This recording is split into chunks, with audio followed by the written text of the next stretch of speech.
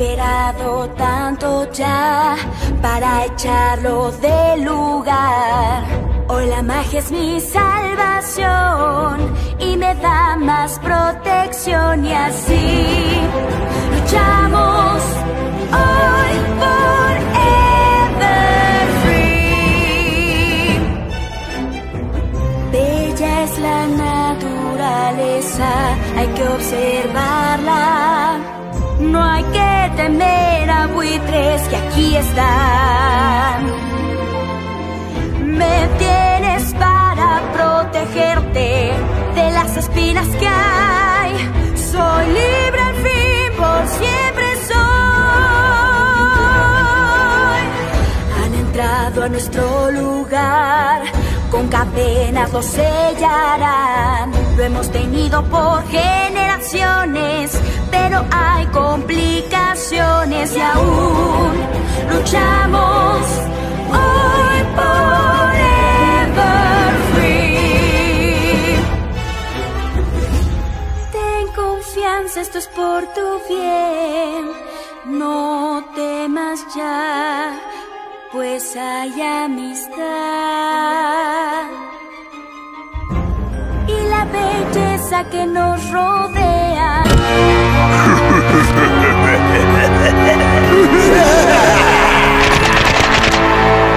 Ya era medianoche en el campamento Everfree.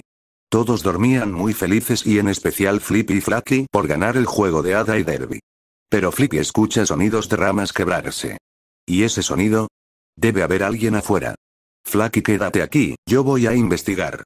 Dijo Flippy mientras se levantaba de su cama y sale de la tienda de campaña. Flippy revisaba los alrededores de la tienda de campaña y no ve a nadie. Así que decide adentrarse en el bosque para estar seguro. Hasta que luego, se encuentra con Twilight y Sunset que parecían estar hablando. ¿Twilight? ¿Sunset? ¿Qué hacen aquí en el bosque? Es de noche y hace frío. Deben ir a dormir ahora. Decía Flippy bostezando por el cansancio que sentía. Twilight se quería ir. Eso es lo que pasó. Pero con suerte logré detenerla. ¿Qué? ¿Pero por qué Twilight se querría ir del campamento a escondidas? Es que, mira. Ya le conté a Sunset sobre los sueños que he tenido. Ya me cansé de mantenerlo en secreto. No sé cuántas veces voy a decirte. Pero el ente que está en tu sueño no es Sebas porque ni siquiera sé quién es. Es Midnight Spark el que te está atormentado en tu interior. Pero sé que eres capaz de derrotarla. Flippy tiene razón. Midnight Sparkle es la responsable de tus habilidades y tus sueños. En algún momento deberás enfrentarla. Dijo Sunset mientras intentaba también animar a Twilight. Pero en esos momentos escuchan sonidos de ramas quebrarse. Sin duda no estaban solos. Así que los tres se ponen en posición de combate. Pero, Wow, wow, wow, relájense, solo soy yo. Timber, ¿qué haces de noche merodeando por el bosque? Pues alguien debía cortar la leña para la fogata de mañana. Gloriosa siempre me manda este trabajo cada noche. Y aparte, ya saben que esta mañana hemos sufrido bastante por la balacera de esos soldados tigres. Pero ustedes hicieron un buen trabajo en salvar este campamento de esos intrusos.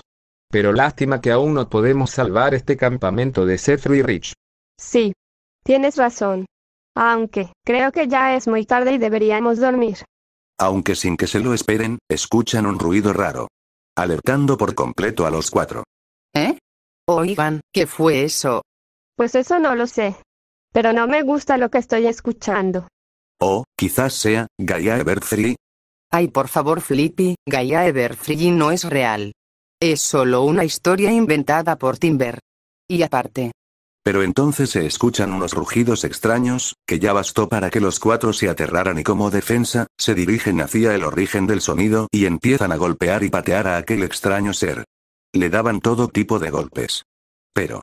Oigan, oigan, ¿qué hacen? Solo soy yo, ya dejen de golpearme por favor. Soy Foxy, no soy Gaia Everfree. ¿O Foxy? Santos cielos, no sabíamos que eras tú. Pero, ¿qué estabas haciendo ahí en los arbustos? Pregunta Flippy sintiéndose aterrado de haber sido el primero en golpear. Es que me levanté para ir al baño, hasta que escuché unas palabras y solo resultaron ser ustedes. ay Foxy, cuánto lamentamos haberte lastimado. Espero que no le digas a nadie de esto, por favor. Fue un accidente. Tranquilos, que no voy a decir nada. Su secreto está a salvo conmigo. Así por cierto escuché lo que dijeron. Twilight, te lo tengo por seguro, muy pronto lograrás enfrentar tus miedos hacia Midnight Sparkle. Pero bueno, creo que, ya debería irme a dormir. Buenas noches. Lo dice para así empezar a retirarse del lugar. Al igual que Timber que le quiso guiar el camino de vuelta a Twilight para volver al campamento. Aunque Sunset y Flippy se dan cuenta de que Timber tenía una especie de polvillo mágico en sus bolsillos. Flippy, lo viste, ¿verdad? Sí, lo vi. Pero eso no quiere decir que haya que levantar sospechas de que esa tal Gaia Everfree existe por culpa de alguien en este lugar. Dice Flippy estando un poco furioso. Pero aún así los dos deciden volver a sus tiendas de campaña para así pasar la noche y dormir. Al día siguiente, Podemos visualizar ahora a Dottie que se levanta, sale de su tienda de campaña y saluda a todos. Oh sí, hola amigo. Dice Foxy que aún estaba un poco herido. Foxy, ¿qué te pasó? Pregunta Dottie estando muy desesperado al ver a Foxy en ese estado. Tanto que hasta alguno de sus amigos se percatan y van para verlo. Em, solo, fui al baño anoche y me caí. Oh, pobrecito. Tranquilo, yo te voy a llevar a la enfermería. Ven conmigo. Dice Shinkeit que extiende su mano. Foxy un poco tímido toma la mano de Shinkeit y van hacia la enfermería. Mientras en la tienda de campaña de Rarity, Disco Bear despierta muy aturdido por lo que había pasado esa noche. ay ay ay, tengo que admitir que fue una noche que jamás olvidaré. Ay no puede ser, debo compensar a Rarity con algo, por hacer nuestro amor simbólico. Pero ¿qué le puedo regalar? Se preguntaba Disco Bear mientras salía de la tienda. Pero entonces él se reúne con Nutty y Russell. Pero luego Dottie se une a ellos para tener un poco de compañía. Hola Nutty. Hola Russell. Hola Dottie. Vaya Nutty y Russell, los veo muy aturdidos. Se ven como yo. Ah, sí. Hola a los tres. Miren, me siento así de raro porque... Ay, ¿cómo explicarlo? Es que anoche Pinkie Pie se volvió completamente loca y me empezó a... Eh, no quiero decirlo porque me da vergüenza. Ya sé a lo que te refieres. Applejack me hizo lo mismo pero tuve que seguirle la corriente y no sé por qué. Al menos no se puso loca como tu novia Pinky. Dice Russell algo atónito de lo de anoche. Sí, y espero que hayan dormido bien. Porque yo no, por culpa de los gemidos de sus noviecitas. Gracias por dejarme con insomnio. Dijo Dottie algo molesto y se retira. Oh. Es una pena lo de Dottie. Pero bueno, ustedes creo que la pasaron un poquito mal anoche. Pero en cambio yo no, ya que Rarity me hizo lo mismo. Fue un poco raro pero se sintió bien. Y por esa razón, estoy pensando en un regalo que darle por hacer nuestro amor muy simbólico. Pues en ese caso, te recomiendo hacer un diseño. Ya que a ella le gustan mucho las decoraciones. Pero qué buena idea. Y ya sé dónde puedo encontrar decoraciones para el diseño. Entonces Disco Bear va corriendo en dirección a la tienda de campaña de Rarity. Y una vez ahí, se pone a buscar aquellas decoraciones y logra encontrarlos en un baúl que tenía un candado. Él logra forzar la cerradura pero había botado dos vestidos fabricados por Rarity. Aunque no se preocupa porque él dice que luego lo arreglará. Y ahora depone a decorar. Disco Bear estaba siendo orgulloso mientras hacía el diseño. Pero le faltaba algo.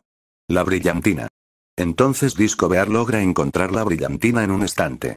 Así que se pone a escalar pero cuando coge la brillantina, el estante se cae provocando que las cosas se esparcieran por la tienda.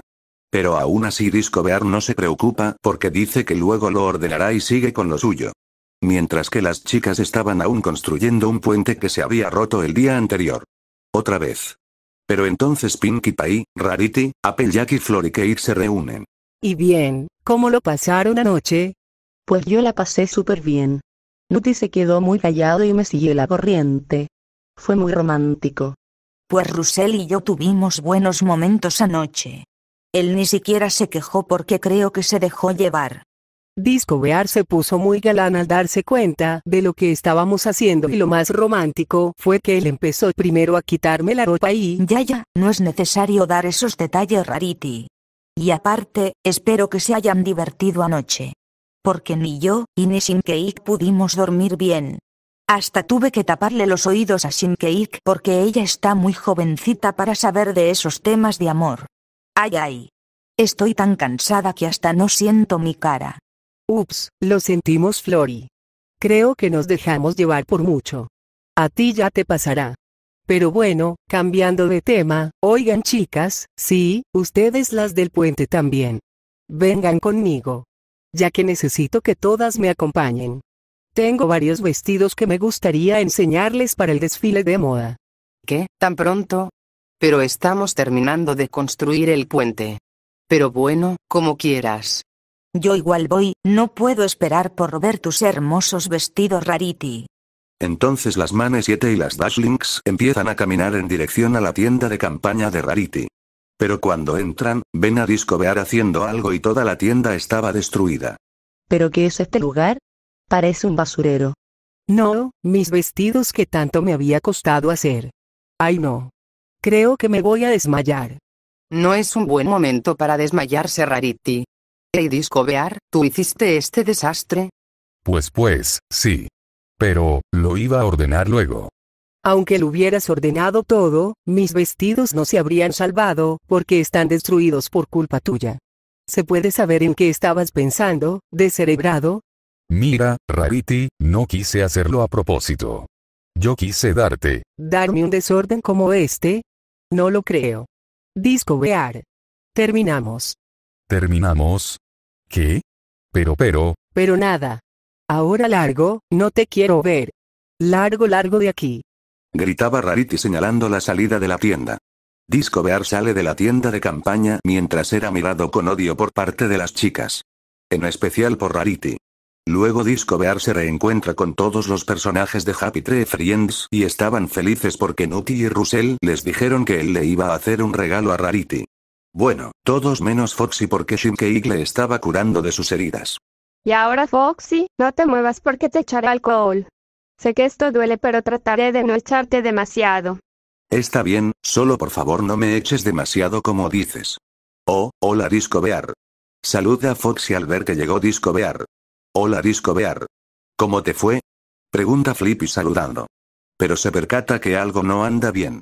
Disco Bear, ¿estás bien? ¿Acaso estás llorando? no es nada. Estoy bien. Es solo que.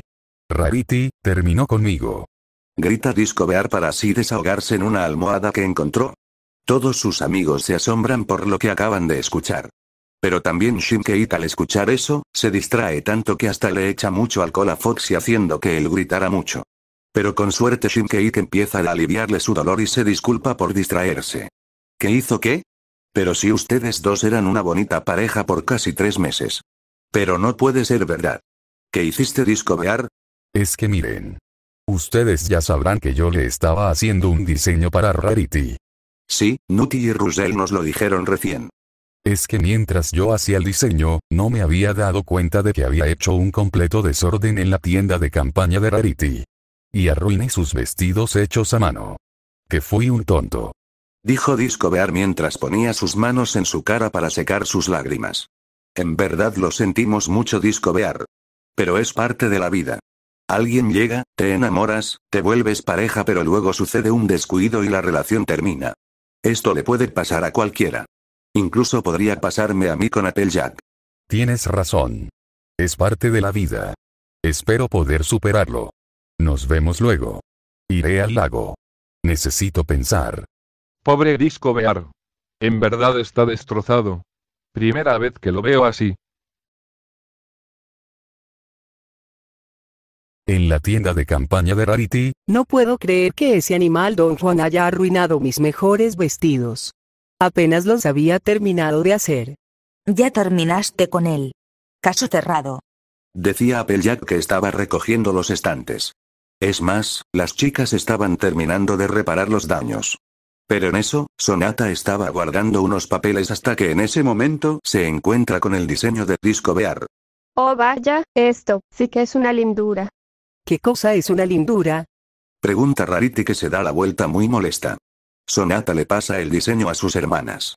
Y luego a Pinkie Pie, Rainbow Dash, Twilight, Sunset, Floricake, Applejack y Flutter sí que ven el diseño también. Oh rayos.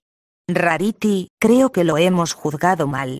Y entonces cuando Rarity ve el diseño, se le empiezan a salir algunas lágrimas. En el diseño se veía un dibujo de Disco Bear y Rarity tomados de la mano mientras estaban sentados en una banca en medio de una catarata y todo estaba colorido con mucha brillantina. Y había un mensaje que decía. Para Rarity, la mejor novia del mundo que un bailarín puede tener en su vida. Creo que le deberás una enorme disculpa a Disco Bear. Le has gritado un montón y le rompiste su corazón. Todo este lío. Todo el desorden. Fue para hacerme un diseño para expresar su amor a través de un diseño que él mismo hizo. ¿Pero qué he hecho? Debo ir a buscarlo. Dice Rarity y sale de la tienda para así empezar a correr mientras buscaba a Disco Bear. No lo encontraba en ningún lado. Ella sabía que su única opción era preguntarle a los personajes de Happy Tree Friends. Hasta que da con ellos. Vaya, vaya, vaya, pero si es la chica que le rompió el corazón a uno de nuestros amigos más motivadores que ahora está completamente quebrado. Dice Lupi estando muy molesto. ¿Qué quieres y qué buscas? ¿Te vienes a desquitar con Disco Bear? Pues no te diremos en dónde está. Por favor díganme en dónde está. Cometí un error porque no me di cuenta de que él me había hecho esto. Lo dice mostrando el diseño que había hecho Disco Bear. Oh vaya, admito que eso sí es un buen diseño. Por favor todos. ¿Dónde está Disco Bear? Entonces Foxy y Mouse Kaboom señalan a Disco Bear que estaba en las orillas del lago. Él estaba sentado en una orilla del lago mientras veía su reflejo y arrojaba algunas piedras que rebotaban. Entonces vuelve a mirar su reflejo y ve el reflejo de Rarity. Rarity, ¿qué haces aquí? Por favor déjame solo. No quiero seguir arruinando todo. Ese diseño que me hiciste. En verdad te quedó muy hermoso. Lo digo de verdad. Solo, quería darte un regalo por hacer nuestro amor muy simbólico por lo de anoche. Pero no me di cuenta de que había arruinado tus vestidos que tanto te costó hacer para el desfile de moda. Tranquilo, un error lo comete cualquiera. Aparte logré coser los vestidos. Mira, perdón por gritarte allá. Fue muy duro en especial para ti. Y no me había dado cuenta del regalo que querías hacerme. Un segundo. Entonces, ¿Esto, nos vuelve a ser novios? Pregunta Disco Bear que empieza a alegrarse. Y entonces, ambos se dan un abrazo y Rarity le da un beso en los labios y le asiente con la cabeza indicando que sí. Volverán a ser novios. Que vivan los novios. Dice Pinkie Pie que había llegado junto con las Manes 7, las Dutchlings y los personajes de Happy Tree Friends, ya que habían visto todo. Ok. Esto, es sin duda muy vergonzoso.